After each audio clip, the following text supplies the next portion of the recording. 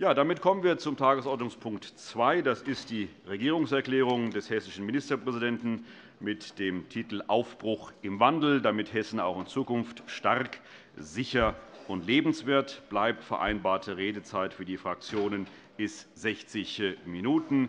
Lieber Herr Ministerpräsident, ich darf Ihnen das Wort erteilen. Verehrter Herr Präsident, meine sehr geehrten Damen und Herren! In der vergangenen Wahlperiode hatten wir unseren Koalitionsvertrag überschrieben mit verlässlich gestalten, Perspektiven eröffnen.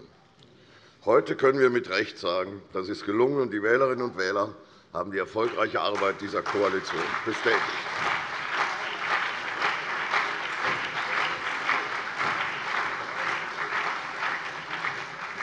Darauf bauen wir auf mit einem neuen Regierungsprogramm unter der Überschrift Aufbruch im Wandel durch Haltung, Orientierung und Zusammenhalt wollen wir uns den neuen Herausforderungen stellen.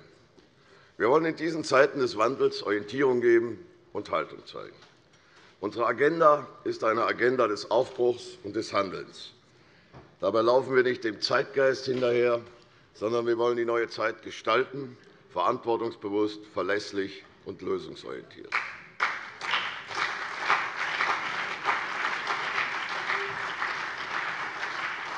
Es muss darum gehen, die richtigen Weichenstellen und Rahmensetzungen zu treffen, nicht nur für die nächsten fünf Jahre.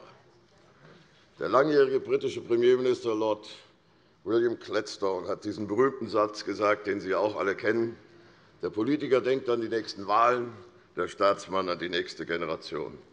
Liebe Kolleginnen und Kollegen, das ist ein guter Ratschlag auch heute, dem wir uns nach meiner Überzeugung alle anschließen sollten.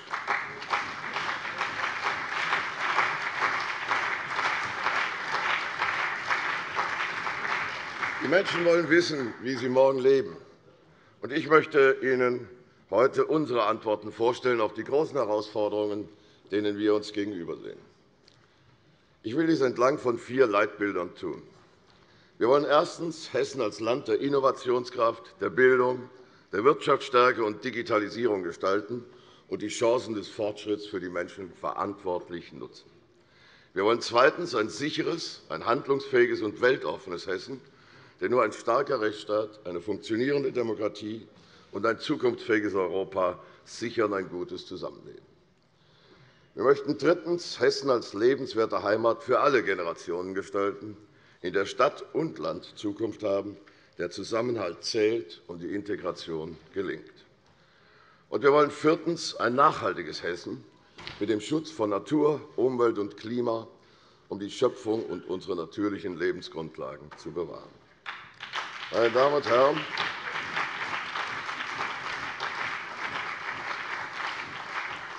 die Voraussetzungen für unsere Zukunft sind mehr als gut. Wir sind ein starkes Bundesland mit einer boomenden Wirtschaft, einem starken Dienstleistungssektor, einer exportkräftigen Industrie und einer ausgeprägten Weltoffenheit. Mit rund 3,5 Millionen Erwerbstätigen haben wir den höchsten Beschäftigungsstand aller Zeiten. Und, auch nicht ganz unwichtig, in Hessen werden bundesweit die höchsten Gehälter gezahlt. Meine Damen und Herren, wir können auch stolz sein auf unser vielfältiges Bildungs- und Hochschulangebot. Es sichert den Ideenreichtum und die Fachkräfte von morgen. Vielleicht zur Erinnerung. Unsere Investitionen in Bildung haben 2018 einen historischen Höchststand von fast 4 Milliarden € erreicht. Kein Bundesland, kein Flächenland in Deutschland gibt mehr aus als Hessen.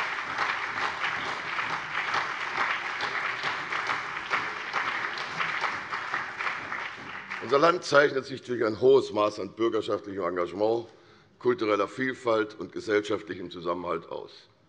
Wir haben ein soziales Netz, das Unterstützung in Notlagen bietet und Selbsthilfe stärkt. Wir sind im besten Sinne in guter Verfassung, mit einem starken Rechts- und Sozialstaat, mit einer lebendigen Demokratie, mit lebenswerten und leistungsfähigen Kommunen.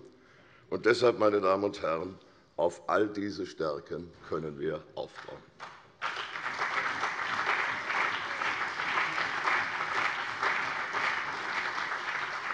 Trotzdem ist es paradox. Wir erleben einerseits einen nie gekannten Wohlstand und Wirtschaftsboom in Deutschland. Unser Land ist zu einem Sehnsuchtsort geworden für viele Menschen aus der ganzen Welt. Andererseits zeigen Umfragen eine wachsende Zukunftsangst in lange nicht gekanntem Ausmaß. Nur noch 17% der Deutschen sehen nach einer jüngsten Ipsos-Umfrage aus diesem Jahr mit großer Zuversicht und Optimismus dem Jahr entgegen. Im Jahr 2014 waren das immerhin noch 45% Der Hamburger Zukunftsforscher Horst Opaschowski beschreibt das Gefühl der breiten Mittelschicht mit dem sogenannten Paternoster-Prinzip. Sie fährt mit dem Paternoster nach oben, ist sich aber sicher, dass es auch wieder abwärts geht, sobald man oben angekommen ist. Ende des Zitats. Liebe Kolleginnen und Kollegen, unser Ziel ist klar. Wir müssen alles dafür tun, dass Sie erstens oben ankommen und zweitens auch oben bleiben.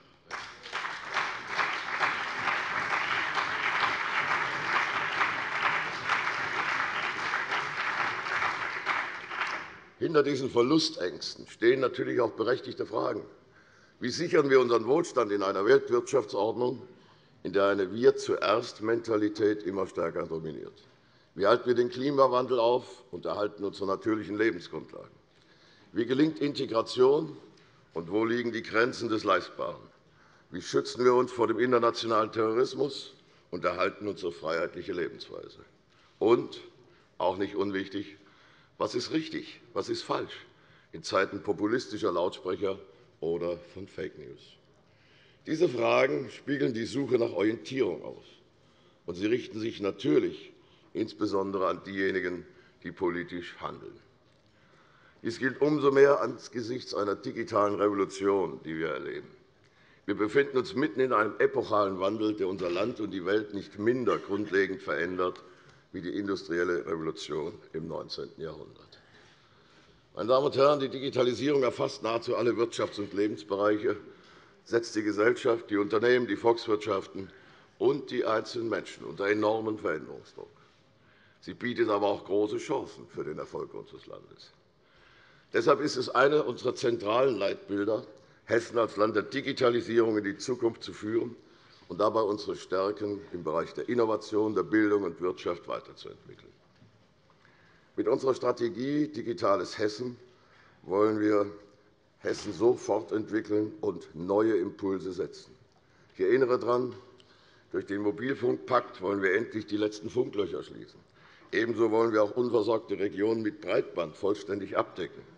Hessen finanziert alleine mit einem Fördervolumen von 50 Millionen € diese oder jene Mobilfunkmasten, an die kein Netzbetreiber angehen will. Meine Damen und Herren, mit der Gigabit-Strategie gehen wir schon jetzt weiter in die 5G-Technologie mit einem Glasfasernetz für Hochleistungsgeschwindigkeit, die insbesondere den Schulen, den Krankenhäusern und den Gewerbegebieten zugutekommen soll. Jetzt bündeln wir all diese Maßnahmen auf allen Politikfeldern mit einer neuen Ministerin für digitale Strategie und Entwicklung. Es geht hier nicht um ein neues Türschild, sondern um eine bundesweit einzigartige Einrichtung, mit der wir Hessen weiter voran in die digitale Zukunft führen. Sie übernimmt konkrete Aufgabenfelder von drei Ressorts, die gesamte strategische Ausrichtung und Koordination unserer Digitalfunkoffensive und vertritt Hessen auf diesem Feld gegenüber dem Bund und international. Meine Damen und Herren,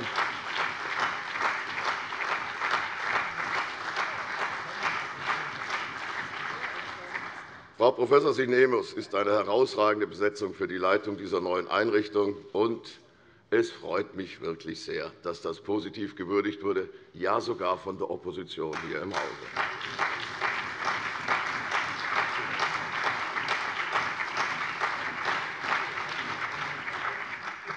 Wir wollen eine Digitalisierung, die vom Nutzen für die Menschen gedacht und für die Menschen gemacht wird. Das fängt bei der Versorgung mit schnellem Internet und leistungsstarkem Mobilfunk an.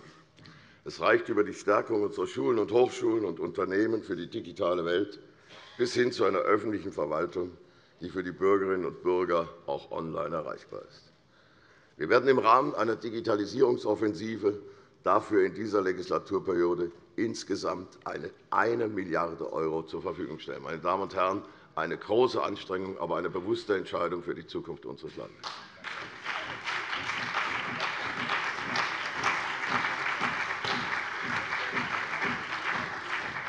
Insbesondere auch unsere hessischen kleinen und mittelständischen Unternehmen gilt es, zur Sicherung der Arbeitsplätze und ihrer Innovationskraft zu unterstützen.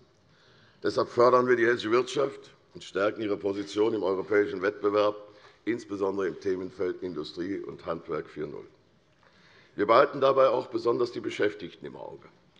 Die Digitalisierung stellt sie vor grundlegende Veränderungen ihres Berufslebens. Die Sorgen um die Zukunft des eigenen Arbeitsplatzes werden konkret. Arbeit 4.0 verändert unsere hergebrachten Produktionsweisen, Dienstleistungen und damit auch die Berufsbilder. Wir laden die Wirtschaft und die Gewerkschaften ein, im Dialog zu gemeinsamen Lösungen zu kommen, wie wir die Chancen dieses Veränderungsprozesses im Interesse der Menschen gestalten. Der Schlüssel wird hierbei insbesondere im lebenslangen Lernen liegen. Deshalb legen wir auch einen besonderen Schwerpunkt auf eine digitale Qualifizierungsoffensive. Liebe Kolleginnen und Kollegen, in der Digitalisierung liegen vielfältige Chancen. Sie verunsichert aber auch die Menschen. Wir wollen deshalb eine an den Bedürfnissen der Sicherheit und der Würde des Menschen orientierte Digitalisierung für Hessen gestalten. Wir werden deshalb mit den Experten im Rat für Digitalethik diesen beispielhaften Dialog fortsetzen und mit einer neuen Einrichtung, nämlich einem hessischen Forschungsinstitut für verantwortungsbewusste Digitalisierung, die rechtlichen und ethischen Fragen vertiefen. Da, wo die Daten zur wertvollsten Währung geworden sind, sind auch völlig neue Arten der Bedrohung entstanden. Eine Bedrohung, die die Funktionsfähigkeit von Staat, Wirtschaft und Gesellschaft untergraben können. Wir wollen dieser Digitalisierung deshalb die richtigen sicherheitspolitischen Leitplanken geben, um die Risiken zu beherrschen und Missbrauch abzuwenden. Deshalb, meine Damen und Herren, Dazu brauchen wir eine digitale Agenda für das Recht. Hessen hat hierzu bundesweit richtungsweisende Anstöße gegeben. Genannt sei beispielhaft die Einführung des Straftatbestands des digitalen Hausfriedensbruchs. Das kam von Hessen. Wir schaffen zudem mit einem hessischen IT-Sicherheitsgesetz weitere rechtliche Grundlagen für eine effiziente Cybersicherheit. Und wir werden das bereits geschaffene IT-Zentrum der Landesregierung Hessen 3C weiterentwickeln und die Präventionsarbeit ausbauen. Meine Damen und Herren, liebe Kolleginnen und Kollegen, wenn wir über Digitalisierung und Innovation reden, reden wir insbesondere auch über künstliche Intelligenz. Künstliche Intelligenz ist die Speerspitze der Digitalisierung, wie es Prof. Wolfgang Walster, der Pionier der KI-Forschung in Deutschland, jüngst in einem Interview formuliert hat. Es kann deshalb nicht oft genug betont werden. Investitionen in Wissenschaft und Forschung sind die Grundlage für die Arbeitsplätze und den Wohlstand von morgen. Meine Damen und Herren. Und deshalb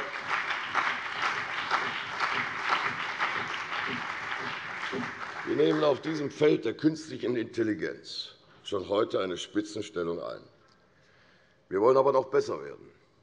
Wir wollen dieses exzellente Potenzial nutzen und einen neuen Tech-Campus aufbauen.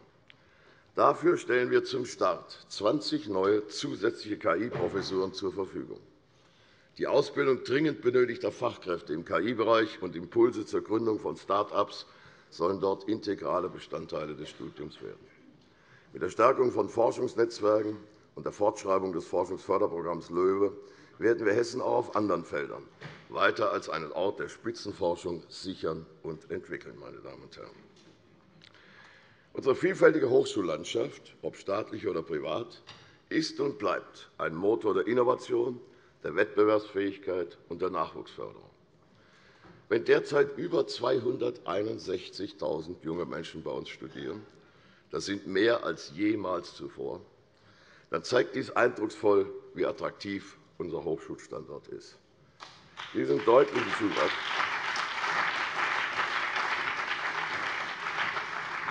Dem deutlichen Zuwachs auch der Studierenden tragen wir Rechnung mit dem neuen Hochschulpakt für die Jahre 2021 bis 2025. Wir geben den Hochschulen damit wieder eine gesicherte Perspektive und steigern ihre Grundfinanzierung jährlich um 4% Insbesondere bei der Personalausstattung wollen wir durch die Entfristung von Stellen 300 neuen Professoren sowie zusätzlichen Mitteln für die Mitarbeiter noch zulegen. Meine Damen und Herren, auch das ist eine gewaltige Anstrengung, aber es ist auch eine bewusste Entscheidung für die Zukunft unseres Landes.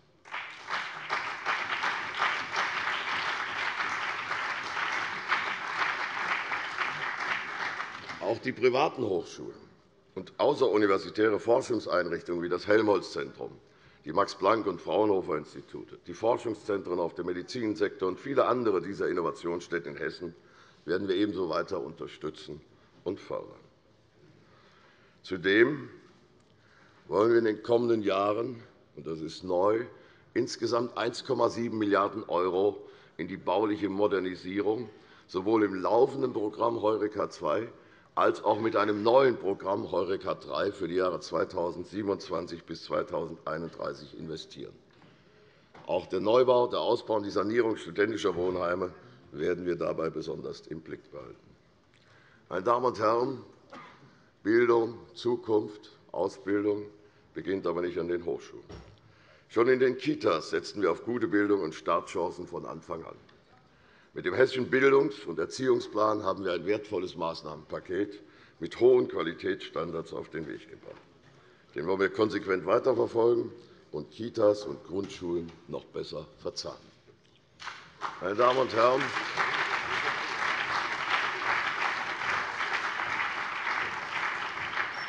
wir behalten dabei beides im Blick, die Qualität der frühkindlichen Bildung und die Vereinbarkeit von Familie und Beruf. Wir werden unsere Anstrengungen für eine gute Kinderbetreuung verstärken, unter anderem dadurch, dass wir jeden Euro verdoppeln, den wir für diesen Bereich vom Bund bekommen. Dort wollen wir aus dem Landeshaushalt eins zu eins noch einen Euro drauflegen. Wir wollen insbesondere die Plätze im Ganztagsbereich ausbauen und die Qualität durch eine höhere Personalausstattung der Kitas verbessern. Und wir wollen auch weitere Schritte in Richtung Beitragsfreiheit gehen. Der schrittweise Ausweitung der Beitragsfreiheit im Ü3-Bereich, also über drei, soll die Ausweitung auch dem Bereich unter drei Jahren folgen. Allerdings, meine Damen und Herren, das sage ich sehr bewusst und sehr deutlich, das kann nur im Rahmen der Möglichkeiten des Landeshaushalts geschehen. Alles andere zu versprechen wäre unrechtlich.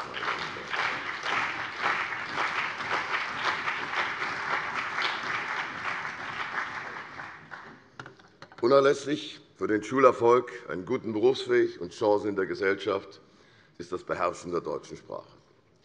Nur wer sich mit anderen austauschen und verstehen kann, nur wer neues Wissen aufnehmen kann, prüfen und verwenden kann, wird sich in unserer Informationsgesellschaft zurechtfinden. Deshalb legen wir auf die Sprachkompetenz einen besonderen Fokus. Durch Erweiterung der Stundentafel Deutsch in der Grundschule und darüber hinaus durch eine Intensivförderung für Kinder aus Migrantenfamilien und durch ein Deutschförderkonzept aus einem Guss für Kitas und Grundschulen. Wir setzen zudem auf eine sinnvolle und konsequente Anwendung des Rechtschreibens von Beginn an. Und deshalb, meine Damen und Herren, schaffen wir Schreiben nach Gehör ab. Meine Damen und Herren,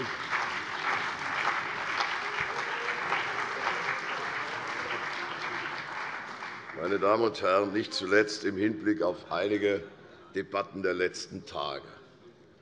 Die Noten werden in Hessen nicht abgeschafft, damit das klar ist. Wir wollen aber das, äh, hören Sie gut zu, dann können Sie Ihre Rede darauf noch einmal überprüfen. Also, wir wollen aber einigen Schulen die Möglichkeit geben, pädagogisch neue Wege bei der Erreichung der Bildungsziele zu gehen. Dies umfasst z. B. Leistungen durch schriftliche Bewertungen statt Ziffernoten zu erfassen. Selbstverständlich erhalten die Schüler beim Wechsel oder beim Abschluss der Schule ein Zeugnis mit Benotung. Von den 1.800 hessischen Schulen können sich bis zu 30 pro Jahr für diesen Weg entscheiden. Übrigens ein Weg, der nach dem Hessischen Schulgesetz schon heute möglich ist. Es soll ein pädagogisches Angebot sein, das die Zustimmung der ganzen Schulgemeinde einschließlich der Eltern voraussetzt und konstruktiv durch die Schulaufsicht begleitet wird. Es ist ausdrücklich kein Verzicht auf das Erreichen der Bildungsziele und auch kein Verzicht auf das Leistungsprinzip. Und es ist deshalb auch keine Richtungsänderung in der hessischen Schulpolitik.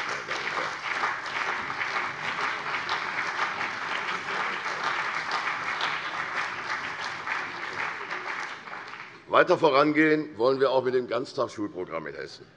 Beim neuen Pakt für den Ganztag setzen wir auf zwei gleichberechtigte Angebote die teilgebundenen und die gebundenen Ganztagsschulen mit rhythmisiertem Unterricht. Wir wollen die lähmende Diskussion entweder das eine oder das andere in der Bildungspolitik überwinden. Wir wollen den Ausbau der Ganztagsschulen voranbringen und die Wahlfreiheit auf dem Bildungsweg stärken. Meine Damen und Herren, Ganztagsschulen sind ein Angebot an die Eltern, aber niemals Zwang. Das Elternrecht steht für uns außer Frage.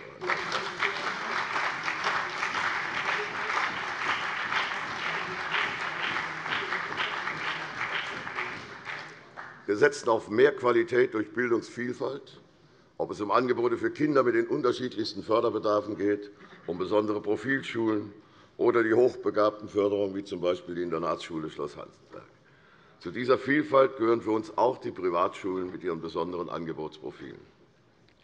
Liebe Kolleginnen und Kollegen, es ist uns doch allen bewusst, die Arbeit in den Schulen ist heute herausfordernder, und der Berufsalltag ist schwerer geworden. Die Lehrerinnen und Lehrer in Hessen verdienen deshalb für ihre Arbeit unsere Anerkennung, Dank und unsere Unterstützung.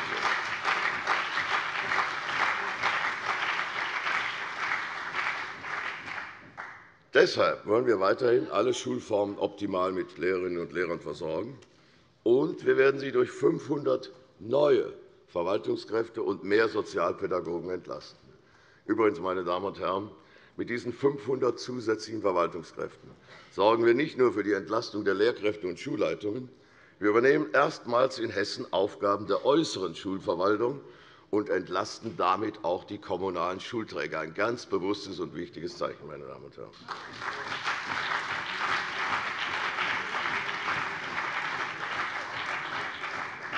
Zu den Herausforderungen in der Schule zählt auch kulturell und religiös vielfältiger gewordene Gesellschaft, die sich im Schulalltag natürlich widerspiegelt.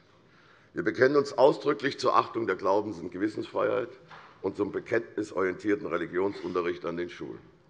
Wir wollen weiterhin auch ein religiöses Bildungsangebot für Schüler muslimischen Glaubens anbieten. Mit Blick auf die Zusammenarbeit mit der TTIP sind wir in dieser Frage derzeit allerdings in einem komplexen Prüfungsprozess, der noch nicht abgeschlossen ist. Für uns ist aber eines klar. Es muss gewährleistet sein, dass Struktur und Angebot den rechtlichen Anforderungen entsprechen. Wenn der Kooperationspartner die seinerzeit festgelegten Voraussetzungen einer staatlichen Beteiligung nicht erfüllt, werden wir dies nicht akzeptieren und Alternativangebote für Schülerinnen und Schüler muslimischen Glaubens anbieten. Meine Damen und Herren.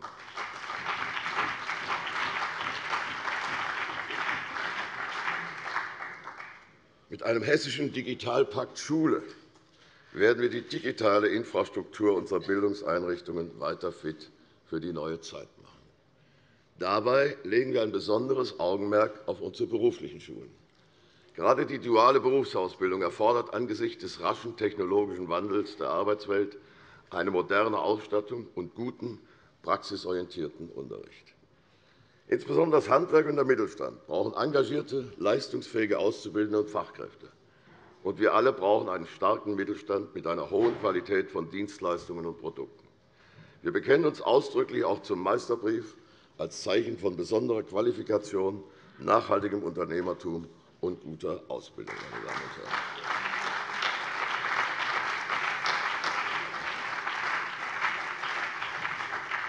Eine aktivierende Arbeitsmarktpolitik, verstärkte Qualifizierung, die Stärkung der dualen Ausbildung und der beruflichen Ausbildung müssen dabei Hand in Hand greifen. Unser Leitbild ist ein sozialer Arbeitsmarkt, bei dem Arbeit statt Arbeitslosigkeit finanziert wird. Wir werden deshalb unsere hessische Fachkräfteoffensive fortsetzen und insbesondere durch eine intensive Qualifizierung sowohl die Chancen von Langzeitarbeitslosen wie von Migranten auf dem Arbeitsmarkt verbessern. Meine Damen und Herren, bei unserer Arbeit folgen wir Grundüberzeugungen. Deshalb bekennt sich die Landesregierung und die tragenden Koalitionen aus CDU und BÜNDNIS 90 die GRÜNEN ausdrücklich zur sozialen Marktwirtschaft als tragendes Prinzip und Ordnungsmodell für Wirtschaft und Gesellschaft.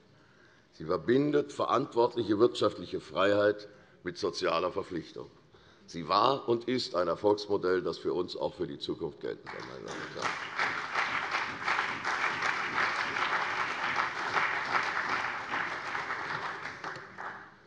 Es zeigt sich in besonderer Weise beim Mittelstand in Hessen. Er stellt über 99 der hessischen Unternehmen, ist Arbeitgeber für bis zu 1,6 Millionen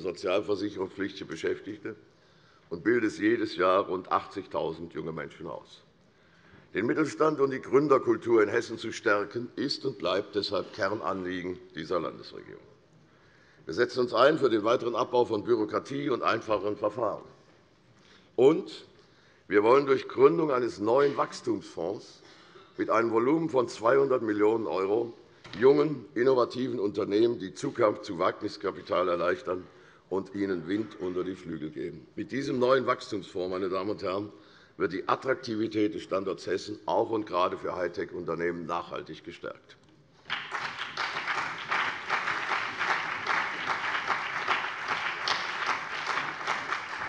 Gerade mit dem Finanzplatz Frankfurt verfügt Hessen bereits heute über ein globales, modernes und technologisch starkes Cluster für Banken, Versicherungen und Finanzdienstleistungen. Wir wollen diese Kompetenz weiter ausbauen und am Standort stärken, z. B. durch die Förderung von Zukunftsthemen wie Fintech oder Green Finance.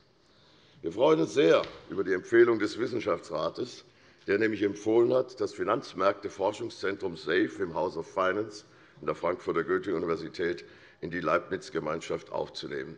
Das, meine Damen und Herren, ist nicht nur im Bereich der Wissenschaft eine ausgesprochene Auszeichnung und unterstreicht unsere Anstrengungen auf diesem Gebiet.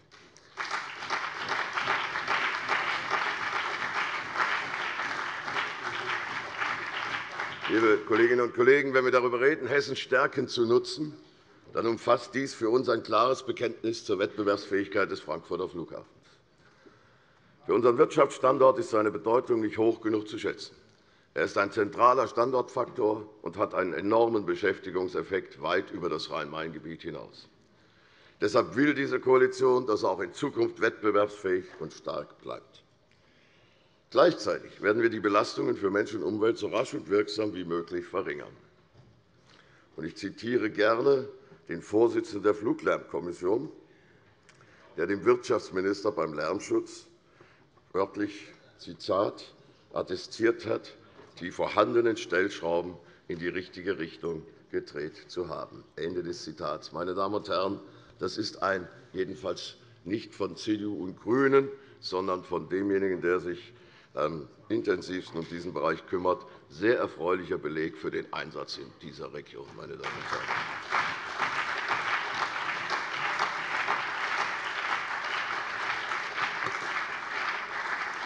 Um den Luftverkehr unter Nachhaltigkeitsgesichtspunkten zu entwickeln, wollen wir außerdem ein Kompetenzzentrum Klima- und Lärmschutz im Flugverkehr schaffen.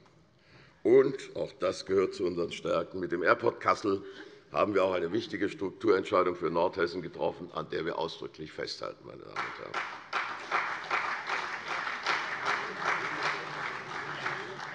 Ein sicheres, ein handlungsfähiges und weltoffenes Hessen ist für uns das zweite zentrale Leitbild für die Zukunft. Ich will dies am Beispiel der Sicherheit deutlich unterstreichen. Für eine offene, liberale Gesellschaft ist es unverzichtbar und oberste Pflicht des Staates, die Freiheit und die Sicherheit der Bürgerinnen und Bürger zu schützen. Beides bedingt einander. Dies kann nur gelingen durch einen handlungsfähigen, starken Rechtsstaat, moderne Strukturen und ausreichende Ressourcen unserer Sicherheitsbehörden. Die objektive Sicherheitslage für die Menschen in Hessen war nie besser als heute. Wir verzeichnen die niedrigste Kriminalitätsbelastung seit 40 Jahren, und die Aufklärungsquote von 64,2% ist der mit Abstand höchste jemals gemessene Wert. Meine Damen und Herren. Nie gab es mehr Polizeivollzugsbeamte in Hessen. Und dank unserer Sicherheitspakete haben wir bereits die Weichen für den größten Personalaufwuchs gestellt, den wir je hatten. Bis zum Jahre 2022 werden 1.500 zusätzliche Anwärter ausgebildet sein. Und wir stärken die Sicherheit in unserem Lande weiter. 750 zusätzliche Vollzugsstellen, besonders für den Schutzmann oder die Schutzfrau vor Ort, mehr Verwaltungsfachkräfte und mehr Wachpolizei schaffen spürbar mehr Präsenz für unsere Sicherheitskräfte. Damit kommen wir einem ausdrücklichen Wunsch der Bürgerinnen und Bürger nach mehr Schutz im öffentlichen Raum ausdrücklich nach.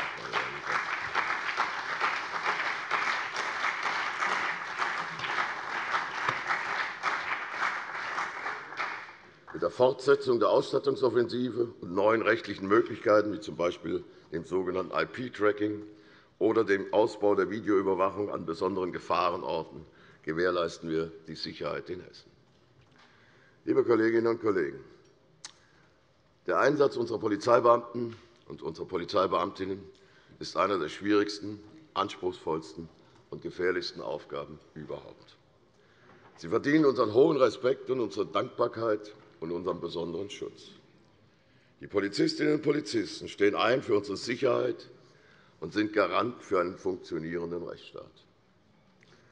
Deshalb sage ich an dieser Stelle sehr klar und sehr deutlich, Vorfälle, wie wir sie leider derzeit in Frankfurt und anderswo erleben müssen, nehmen wir sehr ernst. Sie schaden dem Ansehen der Polizei und untergraben das Vertrauen in den Rechtsstaat. Das gilt immer, und es gilt besonders auch bei rechtsextremem Fehlverhalten. Meine Damen und Herren,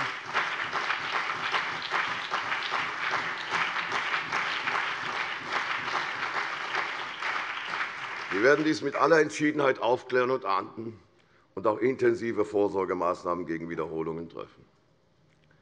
Dort kann es kein falsches Verständnis geben. Aber eines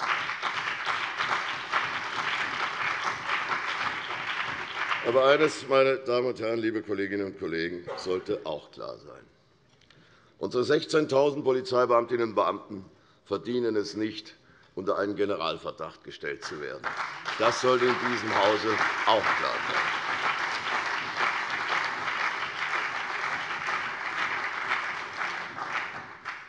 Angesichts zunehmender Gefährdungen durch Extremismus und Terrorismus braucht ein wehrhafter Rechtsstaat eine stabile Sicherheitsarchitektur aus Polizei, Justiz und Verfassungsschutz. Das Hessische Landesamt für Verfassungsschutz ist ein wichtiger Bestandteil dieser Struktur. Seine Organisation, Rechtsgrundlagen und die personelle Ausstattung haben wir bereits nachhaltig verbessert. Wir werden auch die auf Grundlage der Handlungsempfehlungen des NSU-Untersuchungsausschusses eingeleitete Reform des Verfassungsschutzes weiterführen. Auch die guten und vielfältigen Maßnahmen der Extremismusprävention und der Demokratieförderung in Hessen wollen wir weiter stärken, unter anderem mit der Einrichtung eines Netzwerks Prävention. Meine Damen und Herren, liebe Kolleginnen und Kollegen! Die Sicherheit der Bürgerinnen und Bürger hat aber auch beim Brand- und Katastrophenschutz höchste Priorität. In diesem Sinne werden wir unsere 1.700 hauptamtlichen Feuerwehrleute und die über 73.000 ehrenamtlichen Kräfte im Brand- und Katastrophenschutz auch in Zukunft umfassend unterstützen und ausstatten. Insbesondere der wertvolle Einsatz der vielen Freiwilligen ist unbezahlbar.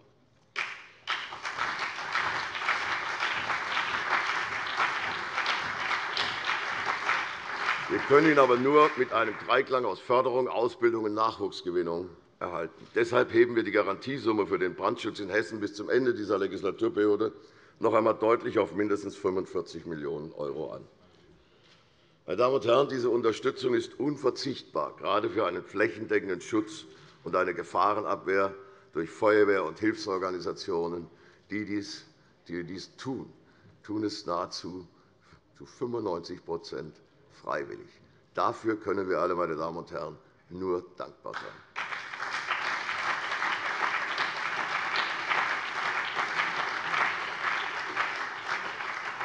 Zu einer funktionierenden Sicherheitsarchitektur und zum Schutz unserer Werteordnung gehört ein starker Rechtsstaat, eine leistungsfähige Justiz und einschließlich des Justizvollzugs.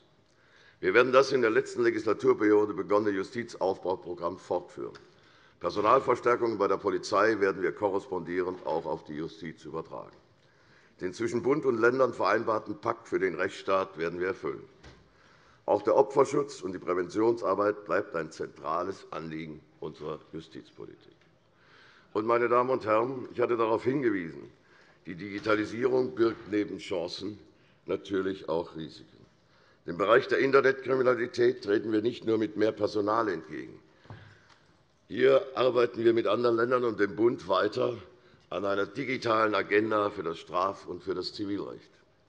Einen besonderen Schwerpunkt werden wir dabei auf die Bekämpfung der Hate Speeches legen.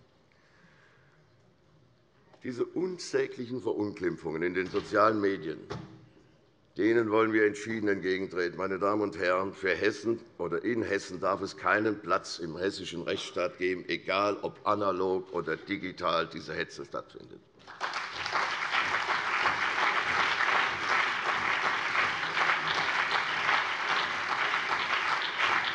Ich sage dies ganz besonders, sage dies ganz besonders auch vor dem Hintergrund der Hasskommentare, der Lügen, populistischen Verdrehungen, die sich im Internet immer wieder auch in der Flüchtlingsfrage zeigen.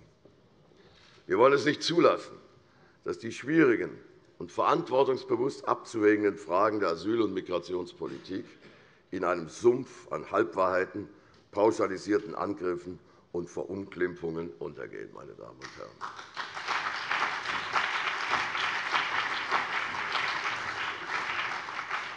In der Flüchtlingspolitik gilt es, den eigenen Werten und dem Schutz für Notsuchende ebenso gerecht zu werden wie dem Anspruch auf Sicherheit und Aufnahmefähigkeit unserer Gesellschaft. Deshalb stehen unsere Antworten auf diese Herausforderung auch weiterhin unter dem Grundsatz Humanität und Ordnung. Wir bieten Schutz, eröffnen Bildungschancen, und wir vermitteln unsere Werte. Umgekehrt, die Einhaltung unserer Verfassungsordnung und unserer Gesetze sind unabdingbare Voraussetzungen für das Miteinander und eine gelungene Integration.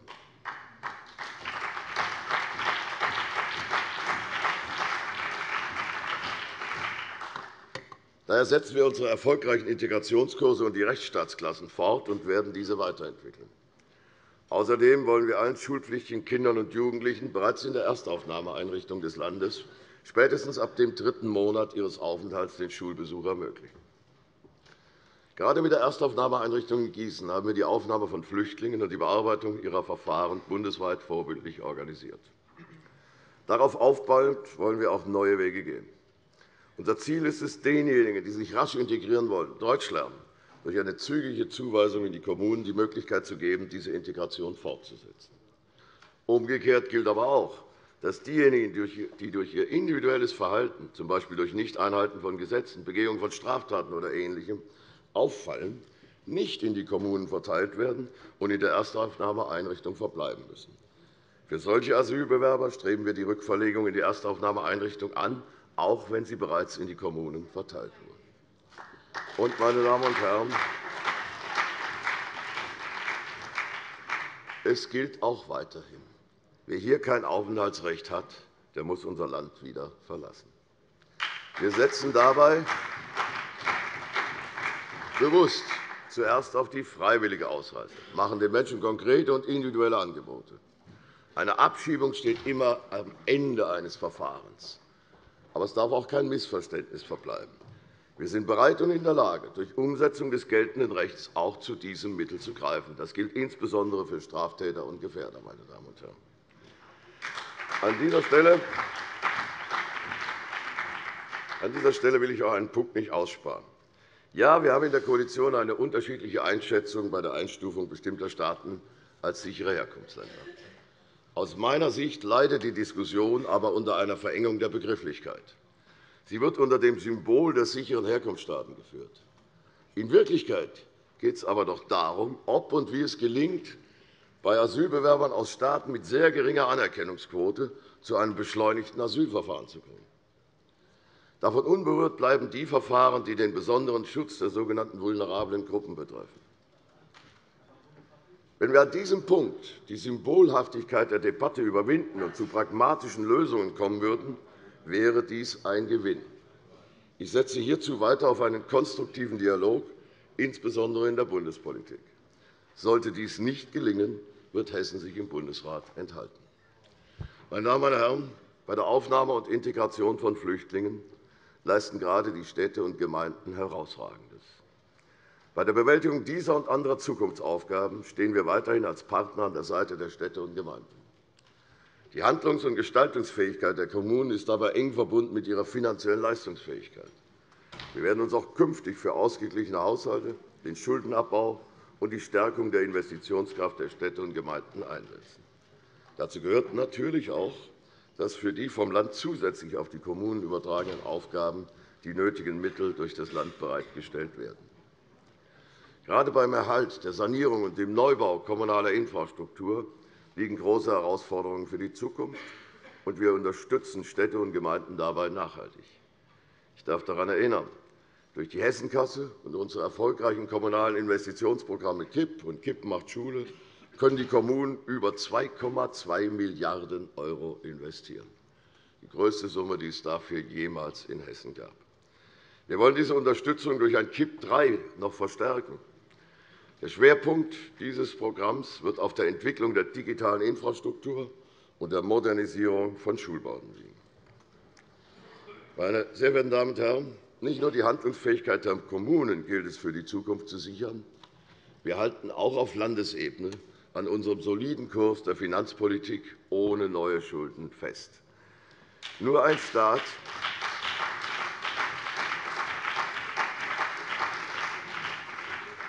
nur ein Staat, der die Nachhaltigkeit seiner Haushaltspolitik im Blick behält, sichert die Handlungsspielräume von morgen.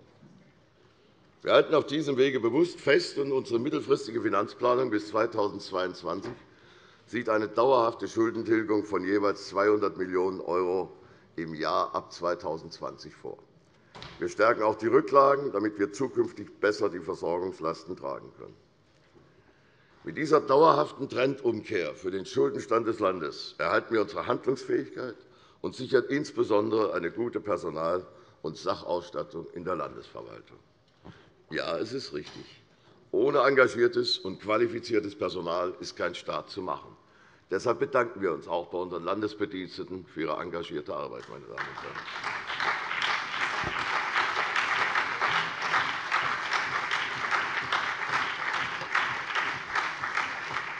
Liebe Kolleginnen und Kollegen, Hessen ist das europäischste unter den 16 deutschen Ländern. Dafür sorgen der Frankfurter Flughafen, die Europäische Zentralbank, die Weltraumagentur ESA und viele andere Einrichtungen. Mit einem Exportanteil von über 53% weit über dem Bundesdurchschnitt, und davon der größte Teil in Ländern der EU, sichern wir unseren Wohlstand in Hessen. Diese Einbindung in Europa ist unsere Stärke, die wir bewahren müssen. Die aktuelle Entwicklung in Großbritannien führt uns in grellem Licht vor Augen, was eine Abkehr von der Europäischen Gemeinschaft bedeutet. Der Brexit, ob mit oder ohne Deal, schadet nicht nur Großbritannien, er wird auch erhebliche Auswirkungen auf uns haben. Wir haben gestern hier im Rahmen der Debatte um das Brexit-Gesetz bereits dazu gesprochen. Ich möchte sehr deutlich machen, Europa ist und bleibt das Friedens- und Wohlstandsprojekt schlechthin. Einige Redner haben dies gestern hervorgerufen. Und, meine Damen und Herren, unsere Bürgerinnen und Bürger in Hessen wissen das. Nicht zuletzt die Tatsache, dass weit über 80% von Ihnen im Herbst für ein klares Bekenntnis für Europa in unserer Verfassung gestimmt haben, belegt dies.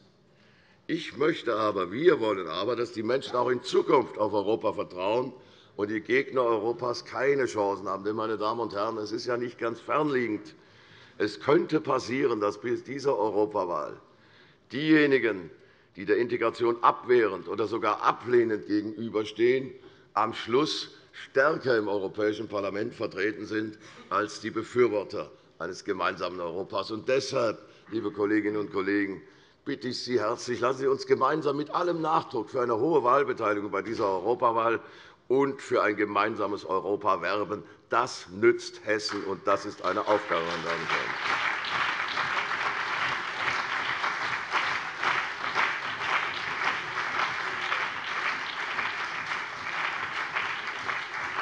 Meine Damen und Herren, liebe Kolleginnen und Kollegen, eine starke Gemeinschaft der Länder in Europa auf der einen Seite und eine kulturell vielfältige, lebenswerte Heimat in den Regionen, das ist kein Widerspruch.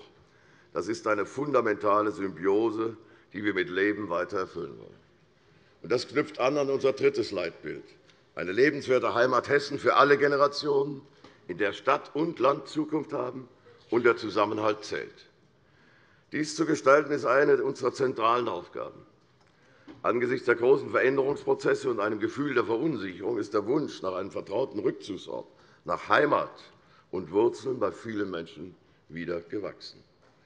Mit der Offensive Land hat Zukunft hatten wir bereits in der abgelaufenen Legislaturperiode einen erfolgreichen Prozess eingeleitet und 1,8 Milliarden € Landesmittel für die Entwicklung des ländlichen Raums bereitgestellt. Darauf wollen wir aufbauen und vorangehen mit einem Aktionsprogramm ländlicher Raum.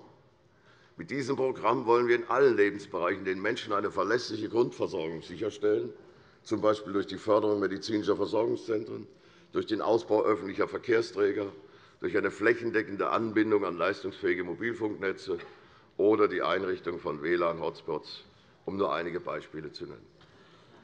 Und, meine Damen und Herren, wir haben uns auch vorgenommen, 3.000 Arbeitsplätze der öffentlichen Verwaltung auf das Land zu verlagern. Wir wollen weitere Hessenbüros, sogenannte Coworking Spaces, als moderne Form vernetzten Arbeitens einrichten. Wenn wir es schaffen, Wohnen und Arbeiten stärker zusammenzuführen, dann hat dies vielfältige Nutzen. Die Beschäftigten verbringen weniger Zeit im Verkehr, und sie gewinnen mehr Zeit für Familie, Freunde und Freizeit. Die Pendlerströme werden reduziert und Straßen und Umwelt entlastet. Und wir stärken gerade die ländlichen Regionen, denn die Menschen bleiben in ihrer Heimat und sorgen so mit für den Erhalt regionaler Wertschöpfung. Hessen ist ein Vorreiter mit diesen Initiativen, und wir wollen diesen Weg konsequent fortsetzen. Es ist eine der besten Botschaften für Menschen, die jeden Tag zur Arbeit zweieinhalb oder noch längere Stunden brauchen. Diesen Trend wollen wir umkehren, meine Damen und Herren.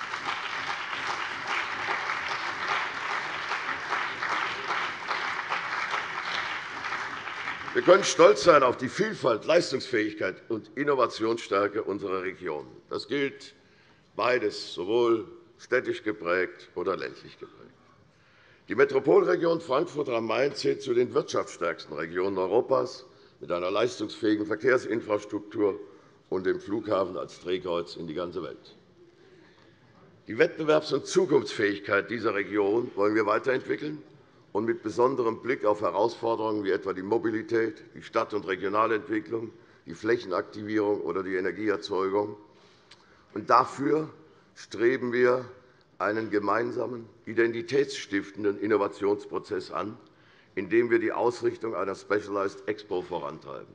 Diese internationale Spezialausstellung möchten wir unter dem Motto Smart Region, Smart People initiieren und auf diese Weise eine Vielzahl exzellenter Initiativen zum Wohle der Region zusammenführen. Ich bin überzeugt, eine solche Einrichtung wird dieser Metropolregion nicht nur ein neues Gefühl der Zusammengehörigkeit bringen, sondern auch einen gewaltigen Schub in ihrer Entwicklung. deshalb werden wir auf diesen Bereich besonderen Wert legen. Meine Damen und Herren.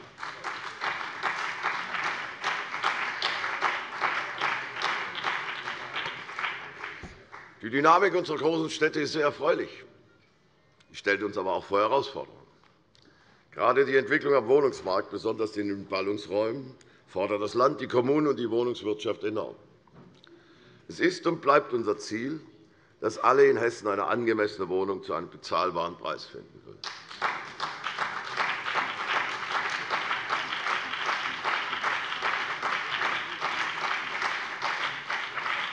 Die Mietpreisbremse ist dabei ein Instrument zur Dämpfung der Preisentwicklung. Die wichtigste Lösung und Antwort auf eine erhöhte Nachfrage und steigende Mieten ist und bleibt aber die Schaffung von bezahlbarem Wohnraum für alle Bedarfe bis hin zum Eigentum. Dabei müssen viele Räder richtig ineinandergreifen, ob mehr Bauland, schnelleres Baurecht, die richtigen Investitionsanreize oder auch ausreichende Fachkräfte. Das Wirtschaftsministerium ist deshalb jetzt auch das Wohnungsbauministerium. Alle wohnungspolitischen Kompetenzen und Zuständigkeiten werden dort gebündelt. Ein neuer zusätzlicher Staatssekretär wird sich besonders um diesen Bereich kümmern. Wir setzen auf das umfassendste Maßnahmenpaket, das es in Hessen je gegeben hat. So werden wir z.B. den erfolgreichen hessischen Masterplan Wohnen deutlich ausbauen und um weitere Förderinstrumente und zusätzliche Mittel erweitern. Wir werden dafür sorgen, dass auch weiterhin jeder Förderantrag im sozialen Wohnungsbau genehmigt wird. Meine Damen und Herren, es ist nicht ein Wollen, sondern es ist ein Handeln. Beginnend mit dem Jahr 2019 werden wir bis 2024 die Fördersumme von insgesamt 2,2 Millionen € für den sozialen Wohnungsbau bereitstellen. Meine Damen und Herren, das entspricht etwa 22.000 Wohnungen für rund 66.000 Menschen. Wir werden außerdem weitere Anreize setzen, damit der Bestand der öffentlichen, kommunalen und genossenschaftlichen Wohnungsbaugesellschaften weiter wächst. Wir setzen die Allianz für Wohnen fort, um gemeinsam mit allen Akteuren am Wohnungsmarkt weitere Anreize und Instrumente zu entwickeln. Eine der entscheidendsten Voraussetzungen für die Schaffung von Wohnraum ist die Ausweisung der erforderlichen Flächen. Deswegen setzen wir nicht nur unsere erfolgreiche Baulandoffensive fort. Wir wollen auch Städten und Gemeinden über den Kommunalen Finanzausgleich finanzielle Anreize bieten, die Ausweisung von Wohnbauflächen voranzutreiben. Meine Damen und Herren.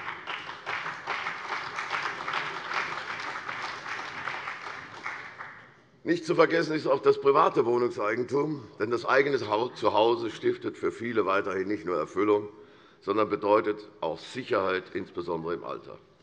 Daher wollen wir ein Maßnahmenpaket auf den Weg bringen, das vor allem junge Familien und Menschen mit niedrigem und mittlerem Einkommen im Wunsch nach Wohneigentum unterstützt. Neben dem Ausbau der Kinderbetreuung und guter Bildung ist dies auch ein Beispiel für das Grundanliegen der Landesregierung, nämlich die Stärkung der Familien. Familie gibt uns Wurzeln. Sie ist der intensivste Ort des Soziallebens und der gegenseitigen Verantwortung. Deshalb setzen wir uns mit Nachdruck und in allen Feldern der Landespolitik für die Stärkung der Familien ein, z. B. durch den Ausbau familienpolitischer Angebote wie dem Hessischen Familienzentrum. Und Familien stehen in Zeiten des demografischen Wandels aber auch oft vor einer doppelten Herausforderung. Es ist eben nicht nur die Sorge und Betreuung der Kinder. Dazu kommen oft noch die pflegebedürftig gewordenen Eltern oder andere Angehörige, die einer besonderen Betreuung und Sorge bedürfen. Mit Blick auf die Altersentwicklung unserer Bevölkerung haben wir hier eine der großen Zukunftsaufgaben.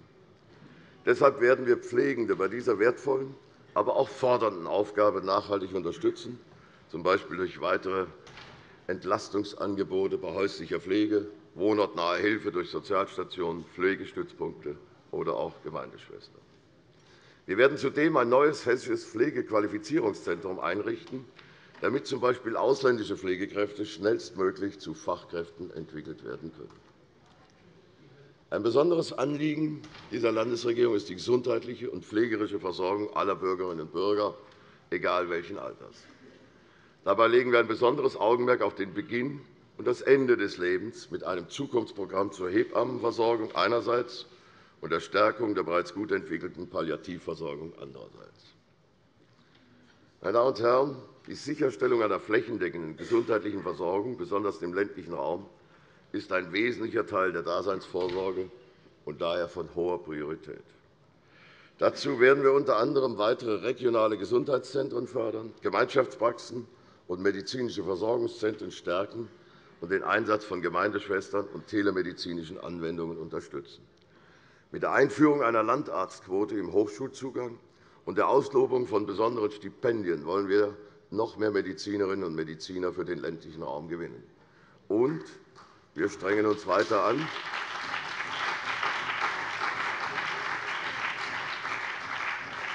wir wollen auch die Studienplätze der Humanmedizin weiter erhöhen. Auch unsere Krankenhauslandschaft soll weiterhin gut aufgestellt bleiben. Dafür werden wir in den Jahren 2020 bis 2024 unsere geplanten Investitionen noch einmal um jährlich 35 Millionen € erhöhen. Mit dem Hessischen Gesundheitspakt 3.0 haben wir eine gute Grundlage geschaffen, um unsere gesundheitspolitischen Ziele zu erreichen. Meine Damen und Herren, liebe Kolleginnen und Kollegen! Selbstverständlich gehören zu einer lebenswerten Heimat nicht nur die Vorsorge für Krankheit und Pflegebedarf. Es geht auch um die gesellschaftliche Teilhabe aller Menschen, egal welchen Alters oder Geschlechts sie haben, wo sie herkommen, ob mit oder ohne Behinderung. Die Würde des Menschen ist für die Politik der unteilbare Auftrag unseres Grundgesetzes und eine besondere Verpflichtung. Wir folgen dem Leitbild eines aktivierenden Sozialstaats, der Unterstützung gibt, wo sie notwendig ist, und gleichzeitig zur Selbsthilfe, Eigenverantwortung und Selbstbestimmung ermutigt. Mit dem Sozialbudget 2025 knüpfen wir das soziale Netz noch enger und unterstützen verlässlich die vielen Initiativen, Vereine und Verbände, die sich für die Teilhabe aller einsetzen. Wir werden die Mittel hierfür um 15 Millionen € aufstocken.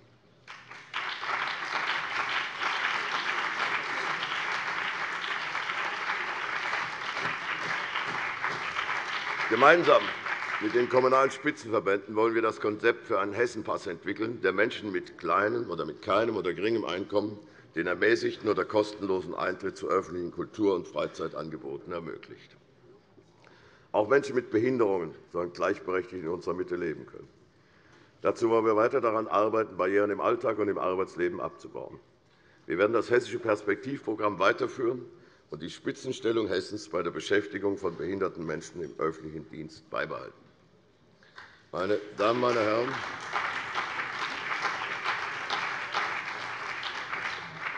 mit der Initiative Hessen lebt Respekt haben wir deutliche Zeichen gesetzt für eine Gesellschaft, in der das Miteinander zählt und Vielfalt auch als Bereicherung gesehen wird. Diese Respektkampagne werden wir fortführen. Sie ist Ausdruck unserer Überzeugung, dass in einer freiheitlich-demokratischen Gesellschaft jeder Mensch Achtung und Respekt verdient. Wir setzen daher auch die hessische Antidiskriminierungsstrategie aktiv fort. Und wir sagen ganz deutlich, Hass, Diskriminierung, Rassismus oder Antisemitismus dürfen in Hessen keinen Platz haben. Das bleibt so.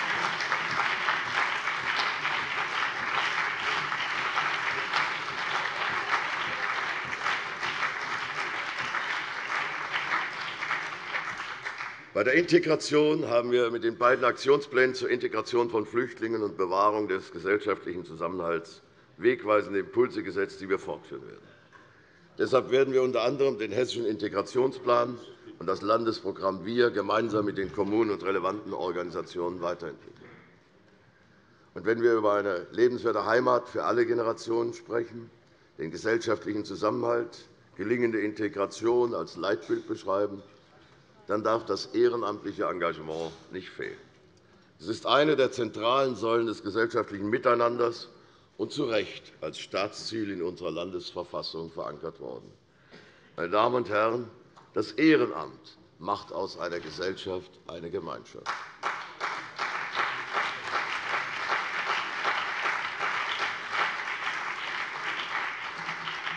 Die Anerkennung und Förderung des Ehrenamts bedeutet nicht den Rückzug des Staates von seinen Aufgaben, sondern das Nutzen der vielfältigen Chancen, die das Ehrenamt für den Einzelnen, aber auch für die Gesellschaft bieten. Politik kann dieses freiwillige Engagement nicht verordnen. Aber wir können und wir müssen nach meiner Überzeugung die richtigen Rahmenbedingungen dafür schaffen, dass dieses Staatsziel auch mit Leben gefüllt wird.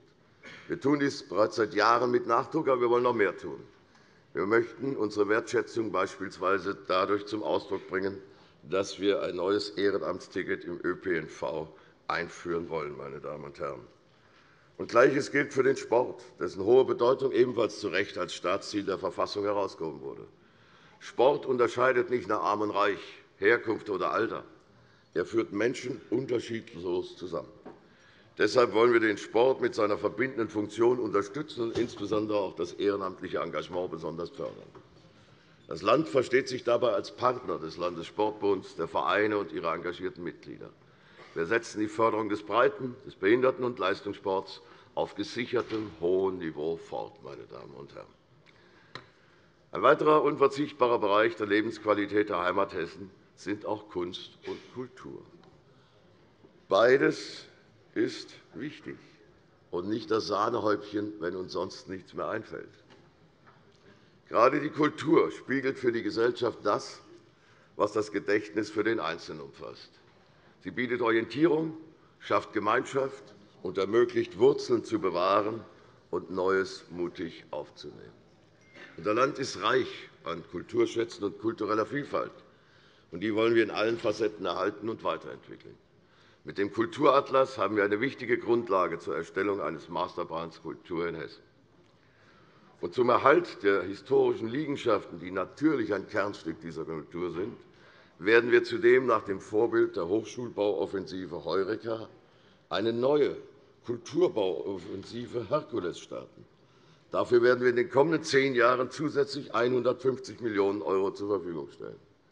Denn, meine Damen und Herren, die Sicherung des kulturellen Erbes für unsere Kinder und Enkelkinder das bedeutet eine Brücke von der Vergangenheit in die Zukunft. Und deshalb ist uns das wichtig.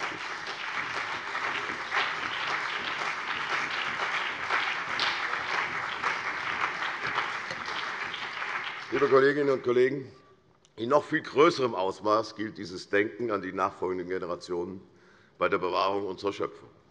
Sauberes Wasser, reine Luft und gesunde Böden sind die Grundlagen unseres Lebens und Voraussetzungen für die hohe Lebensqualität in unserem Land. Diesem Ziel dient die erfolgreiche hessische Nachhaltigkeitsstrategie, die wir deshalb konsequent weiterentwickeln werden. Insbesondere die globale Erwärmung und der Klimawandel sind Entwicklungen, von der keiner die Augen verschließen kann. Sie sind Realität und keine Fake News. Meine Damen und Herren. Wir werden deshalb engagiert daran arbeiten, unsere Klimaschutzziele entsprechend dem Hessischen Klimaschutzplan 2025 weiterzuverfolgen. Wir wollen sie fortentwickeln. Dabei wollen wir bis 2030 die Treibhausgasemissionen um 55% senken im Vergleich zu 1990. Wir setzen dabei vor allem auf Information und Anreize für Bürgerinnen und Bürger und die Wirtschaft. Zu diesem Verständnis gehört auch eine ganzheitliche Energiepolitik, die nicht nur den Strom, sondern ebenso Wärme und Verkehr einbezieht. Wir werden unsere engagierte Energiepolitik fortsetzen, unter anderem mit einem neuen Photovoltaikprogramm sowie einem neuen Schwerpunkt bei der Energieeffizienz und Einsparung. Bei der energetischen Sanierung von Wohngebäuden wollen wir deutlich schneller werden und die Rate bis 2025 auf 27.000 Gebäude pro Jahr verdoppeln. Anspruchsvoll, aber wir sind zuversichtlich, dass das gelingen kann.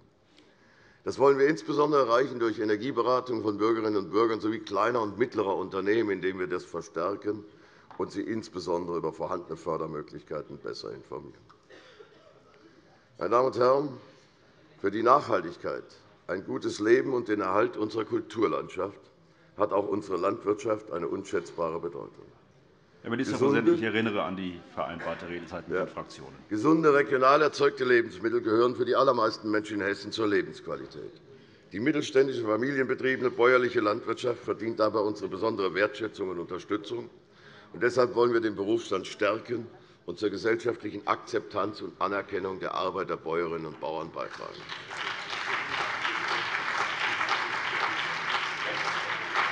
Der Zukunftspakt Hessische Landwirtschaft bleibt auch in den nächsten Jahren die wesentliche Säule unserer Agrarpolitik. Wir wollen weiterhin einen fairen Ausgleich zwischen konventioneller und ökologischer Landwirtschaft ermöglichen. Unabhängig davon, ob ein Betrieb sich ökologisch oder konventionell ausrichtet, wird es weiterhin eine gezielte Förderung und Angebote für eine nachhaltige Landwirtschaft geben. Und wir wollen den Anteil ökologisch bewirtschafteter Flächen auf 25% erhöhen. Meine Damen und Herren, schon jetzt hat Hessen einen Spitzenplatz im ökologischen Landbau erreicht.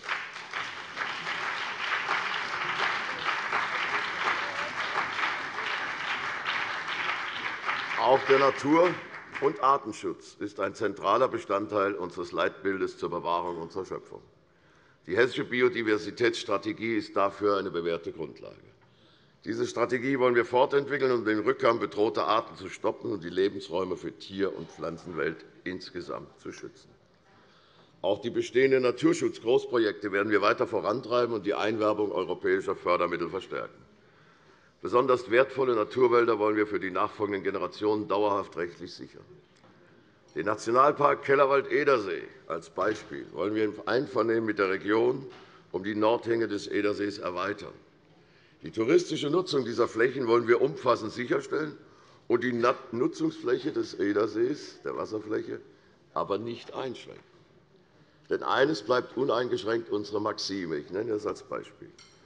Politische Maßnahmen zum Schutz unserer Natur und zur Reduktion von Treibhausgasemissionen müssen immer verhältnismäßig sein und einen Dreiklang erfüllen, den Dreiklang aus ökologischer, ökonomischer und sozialer Belange. Sie sind gleichrangig zu berücksichtigen, meine Damen und Herren. Das gilt natürlich auch und gerade in der Verkehrspolitik. Einerseits hat sie eine besondere Rolle bei der Klimaschutzpolitik, andererseits ist sie die Sicherung der Mobilität oder für die Sicherung der Mobilität der Menschen und der Güter essentiell für unsere wirtschaftliche Dynamik und unsere individuelle Freiheit. Wir beachten beides, eine engagierte Klimaschutzpolitik und eine intensive Verkehrspolitik. Deshalb ist noch nie so viel Geld in Busse, Bahnen, Autobahnen, Bundes- und Landesstraßen geflossen wie in den Jahren seit 2014. Meine Damen und Herren.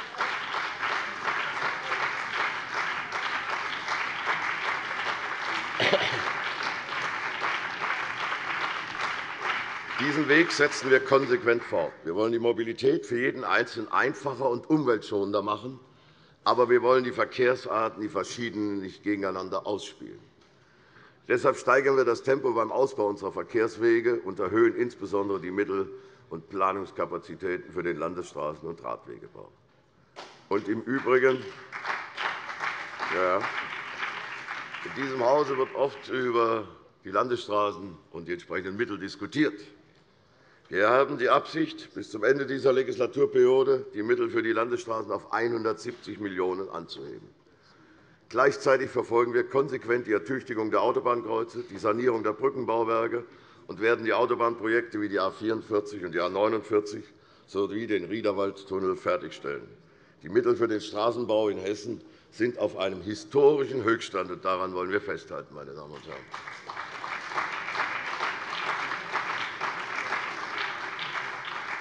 Jeder zusätzliche Meter Gleis entlastet auch den Straßenverkehr. Die Neu- und Ausbauprojekte Rhein-Main, Rhein-Neckar oder Hanau-Fulda sowie die Nahverkehrsprojekte wie die Nordmainische S-Bahn und die Regionaltangente West werden wir entschieden vorantreiben.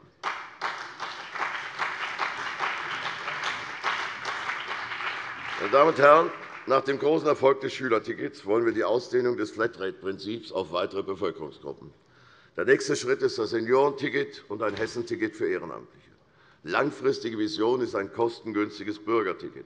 Deshalb begrüßen wir sehr die Initiative zur Einführung eines Kommunaltickets für Beschäftigte der Kommunen und werben bei der Wirtschaft für entsprechende Jobtickets.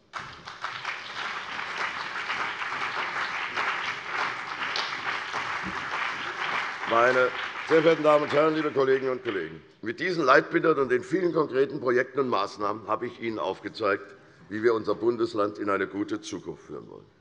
Wer etwas vermisst haben mag, den lade ich herzlich ein, unseren 193 Seiten starken Koalitionsvertrag aufmerksam zu lesen.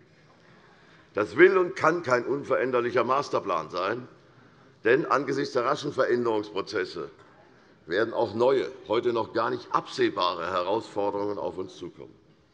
Deshalb ist dieses Programm gleichzeitig Weg- und Zielbeschreibung. Das wollen wir mit Vernunft, mit Augenmaß und klaren Werten verfolgen. Wir wollen den offenen Dialog, das Ringen um tragfähige und zukunftsweisende Lösungen mit Argumenten und gegenseitigem Respekt, Respekt vor den Grundüberzeugungen und auch den Leistungen der anderen. Monokausale Erklärungsmuster oder gar ideologische Welterklärungen bringen uns genauso wenig weiter wie der Appell an diffuse Ängste. Lassen Sie uns über eine Politik streiten, die sich an der Lebenswirklichkeit der Menschen orientiert, unaufgeregt und sachorientiert, mit klarem Blick für die Umsetzung, aber auch für die konkrete Wirkung für die Menschen in unserem Land. Dietrich Bonhoeffer hat es einmal so formuliert. Die Ehrfurcht vor der Vergangenheit und die Verantwortung gegenüber der Zukunft geben fürs Leben die richtige Haltung. Das ist unsere Maxime. Wir wollen mit Vernunft und Leidenschaft für die eigenen Überzeugungen und Werte eintreten und diese ohne glühenden Eifer oder gar Herabwürdigung Andersdenkender umsetzen. Und deshalb, meine Damen und Herren, wir dürfen uns freuen auf die Aufgaben der nächsten fünf Jahre. Aber Demokratie braucht heute keine großen Helden mehr, aber engagierte Demokraten. Wir können die Zukunft unserer freiheitlichen Ordnung und den Zusammenhalt der Gesellschaft nicht alleine sichern.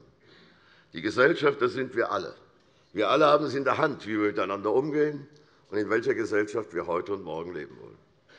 Deshalb laden wir alle hier im Parlament und jene in unserem Land dazu ein, an der Gestaltung unserer Zukunft in einem lebendigen und lebenswerten demokratischen Gemeinwesen mitzuwirken. Unsere Vorstellungen dazu habe ich beschrieben.